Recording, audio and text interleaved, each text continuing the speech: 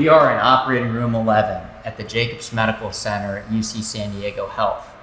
I'm Dr. Alex Khalessi, the chairman of neurosurgery at UC San Diego, and I'm delighted to welcome the AANS to San Diego. San Diego has long been known as a destination for transformative foundational research institutes and destination biotechnology. This room is part of our commitment, however, to providing cutting edge clinical care, training the next generation of surgeons, and changing the way surgery is done. It's really important for us to understand where we came from. And the voices you're going to hear on this video are going to share that journey.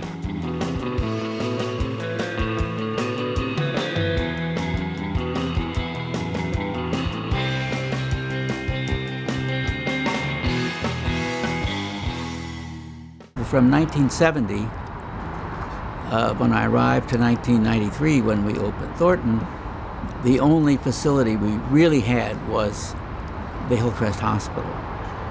And for neurosurgery, at the beginning, that was mostly ER patients, drunks, patients with head injuries, people found on the streets by the, by the police. We were the only academic group in town, and Dr. Alksne was a tremendous mentor.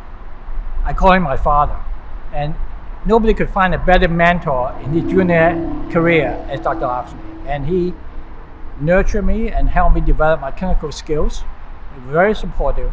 So at that time, a few of us came together and decided to establish a new training program in San Diego. A lot of them now become senior neurosurgeons in town, and they all have been coming back and supporting us. So from a tiny nucleus, we're able to generate, I hate to say use the word school of neurosurgery, that has derived from people who are very forward looking. To start out as a, the first resident at UCSD, it was a, a really exciting opportunity. As soon as I got here, they explained to me that I was going to get to do all the cases. Um, it was a, a, family event, basically, because uh, Dr. Alksne always tried to make it very friendly. And my family had known his family for a long time, and that's something that I'm glad to see has really continued on here at UCSD. We had a nice little hospital that gradually, at Hillcrest, that gradually grew into a trauma center.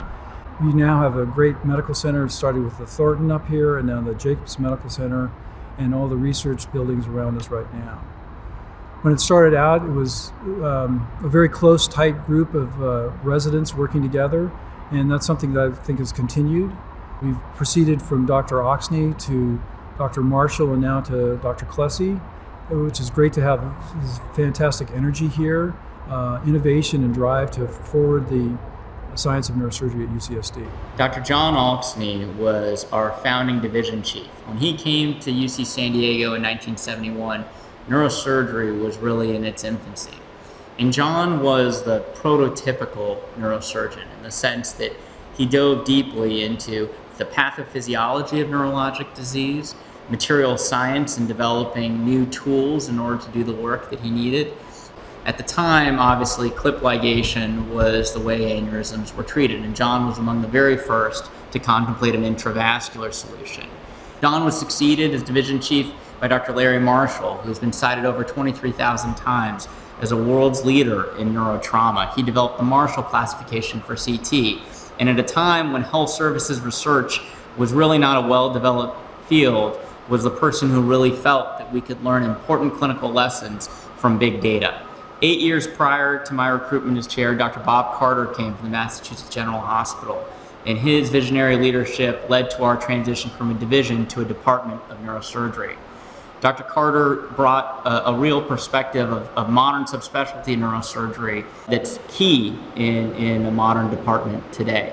He built interdisciplinary teams in neuro-oncology, peripheral nerves, cerebrovascular, and epilepsy. One of the great privileges of my career at the University of California, San Diego, was the opportunity to recruit and work with an incredibly talented and diverse set of residents and faculty, and to see this group emerge as leaders in our medical school, our community of San Diego, and in national neurosurgery yeah, actually, San Diego is, is quite a, a, real, I would call it a hotbed for spine surgery. It's sort of like you could call it the Silicon Valley of spine surgery, maybe, especially for minimally invasive. And that has to do with the biotechnology group that is up here. It has to do with people up on the Mesa, and it has to do with the university. Uh, so, as a as fact, we were really the pioneers of a couple different types of surgery. Number one, the first people really to do a lateral, uh, minimally invasive um, lateral lumbar interbody fusion. And then past that, though, we've been involved in everything from endoscopic uh, to uh, minimally invasive T lifts, and really have been on the forefront of that. I think because there's such a wealth of uh, knowledge and expertise in this on this mesa here in the Torrey Pines La Jolla area, uh, there are no barriers. Yeah, it's not. I mean, this is not quite true, but I feel like you can throw a rock from here and hit seven places to collaborate with, not only in medicine but also in uh, healthcare science and biotechnology, uh, and it doesn't mean an hour and a half in the car.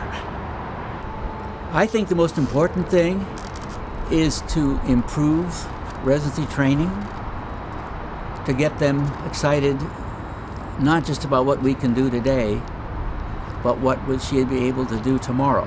I'm really excited about the future here because I think the collaboration with the other uh, research groups in, on the Mesa, the Salk Institute, uh, even with the Scripps, is really coming on strong. We have a brand new operating room with all the newest uh, facilities with the IMRIS machine.